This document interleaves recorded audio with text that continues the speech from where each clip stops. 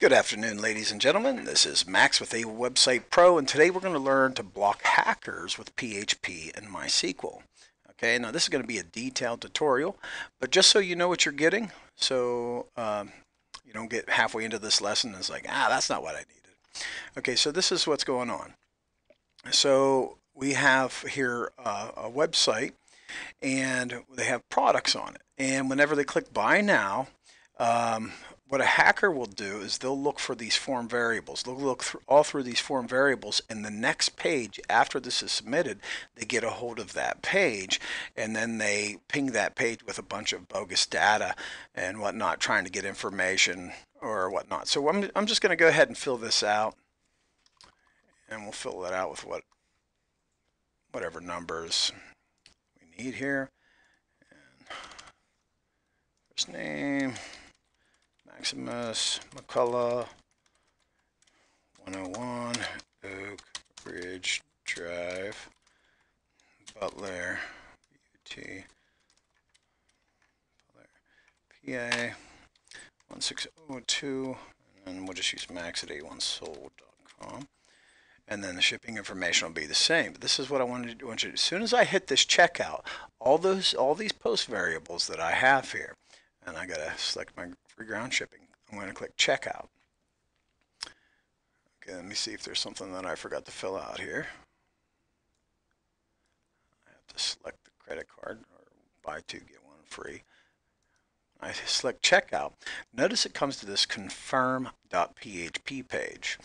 Okay, now what a hacker will do is he'll get on this and if he's accessing it from outside your domain, for instance, he could put set up a page on his domain that keeps submitting post variables to this and inject stuff into your database or some other means or he'll screw around here online. But what will happen is he'll burn up your email relays insert bogus data into your uh, website. And then uh, when the when the client however when the client comes here and he goes through he's going to be shopping as usual. But I'm going to show you a little trick so you can block these hackers. So I'm going to click confirm order now, notice here that, you know, I still have all of the information I'm still on here. But let's go back here for a second. Now, you'll notice this confirm. If I copy this and I try to go directly to this page, paste and go, look what happens. Hi there, nice job hacking. However, as you can see, I have all your information. I'm either ready to report you to the authorities, blah, blah, blah. And here you can see all the hacker's information. This is me. This is who I, this is where I am at this particular point in time. So wouldn't you like to be able to know who's trying to hack into your website? Well, that is what this tutorial is all about, my friend. Okay, so let's get started. The first thing that you're going to need is a way to connect to your database. I recommend making a config.php, you know, just like this. config.php, create that file, config.php, and then enter this information in it. What this does is it connects to your database, okay? And if it fails, it's going to give you an error message and tell you what's wrong. Else it's just going to echo nothing. Or you can, uh, you know, put success, whatever, successfully connected. Okay, the next part of this tutorial is you're going to make this little script, create, create something, create database.php and then upload this to your server. Okay, what this is going to do is it's going to require that config file that we just did and it's going to create another table called block inside your MySQL database.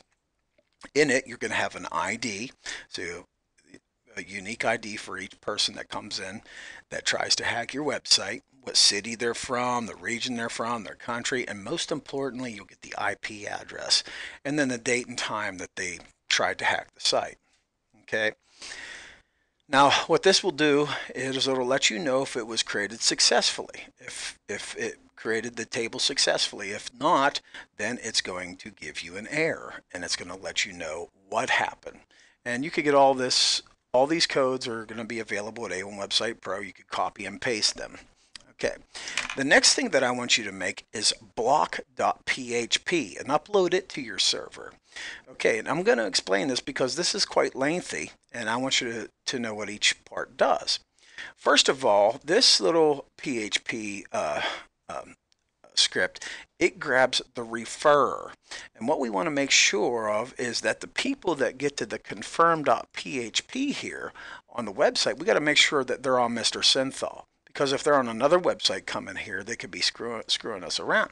So we look at the refer, and then we parse that. And right here is what you got to change. Change this to whatever your website is. Remember, take off the HTTPS if uh, there's no S on there, and just put your website in there. If you have a www, put that in there.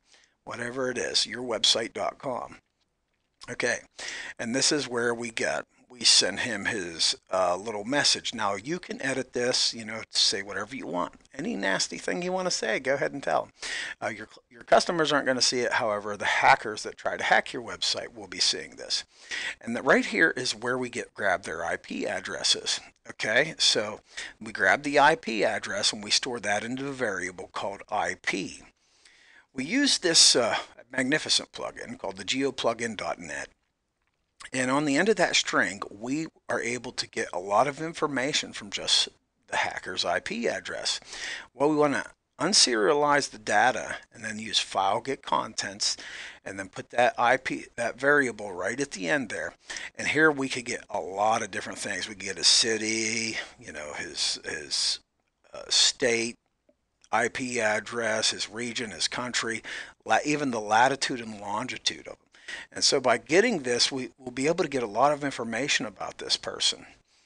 And finally, what we do at the end of the towards the end of the script, we go ahead and grab that config.php that we made, and we insert into our database the city, the region, the country, and the IP address. Okay.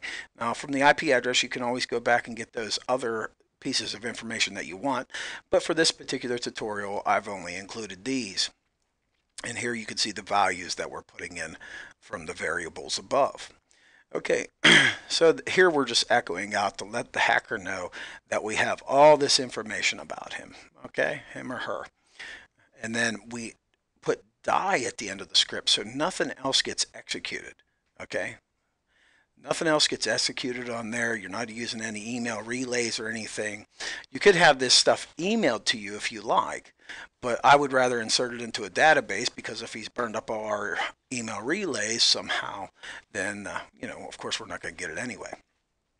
But you could actually put in a little mail script at the end here if you like, you know, the, the mail to uh, PHP script. And then you can find that on A1 Website Pro as well. All right, the next thing that I want you to make is this little block here. It's include block.php. Now this is block.php, but we don't want to include this on every page. For instance, you don't want to put this in your header.php. You'll be blocking every person that comes to your website. However, you do want to block you know, the particular pages, the confirm page, the thank you pages and stuff like that. And all you have to do is include that in there. Okay. So that's, that's what grabs that, uh, that's what stops them in their tracks, basically. Now, to block them entirely from your website, this is where we go to the header.php. And you'll notice we're grabbing the config file. And the first thing that we're going to do is grab all the users that come to our website. We're going to grab their IP address. Okay. And then we're going to go to our database and we're going to query the database for the whatever's in block. Okay and we want to get the, all the IP addresses that we're blocking and then we're going to redirect them to google.com and then exit the script. So every time that they go to our website now, they'll just be redirected to google.com. I hope this tutorial helps some people out there that are having trouble with this kind of stuff. This is Max with A1 Website Pro. If you have any questions or comments, please be feel free to go to my website and leave them below in this post. Thank you.